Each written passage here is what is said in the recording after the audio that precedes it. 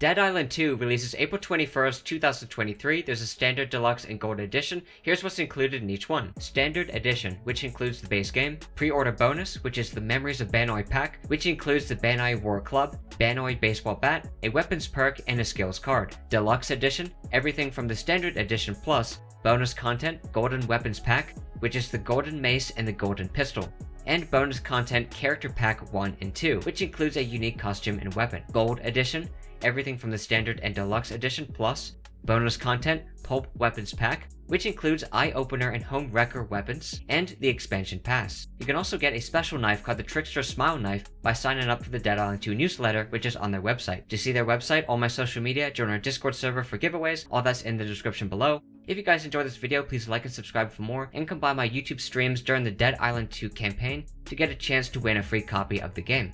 Thanks for watching, and I'll see you next time.